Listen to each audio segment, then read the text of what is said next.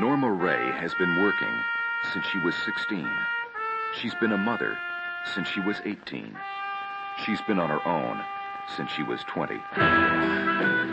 Norma Rae is a survivor, and for the first time in her life, she's got a chance to become something more. Good morning, Warshowsky Textile Workers Union of America. A winner. Good morning. Never met a Jew before. How you doing? You sure are a fish out of water down here.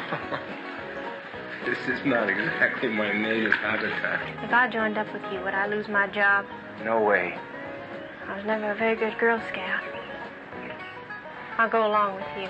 You're the fish I wanted to hook. 20th Century Fox presents Norma Rae, Norma, you got the biggest mouth in this mill. Give us a longer break. Give us more smoking time. Do it. Now shut up. If you're in the State Department, we'd be at war. Reuben, I think you like me. Did you ever sleep with him? No. But he's in my head. You're going too far now, Norma. This here is our home. How am I going too far? There's a bunch of black men in there. You're going to get us in a whole lot of trouble. I ain't never had any trouble with black men. The only trouble I ever had in my life was with white men.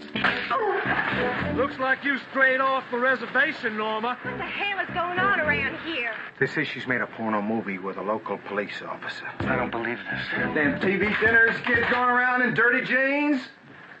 I'm going around, uh, without! Altogether! You know what I am. And you know that I believe it. It's standing up for what I think is right. She's a free woman. Maybe you can live with it, maybe you can't. This is the story of a woman with the courage to risk everything for what she knows is right. Lady, I want you off the premises now. I started this, and I'm gonna finish it. I want you out of here right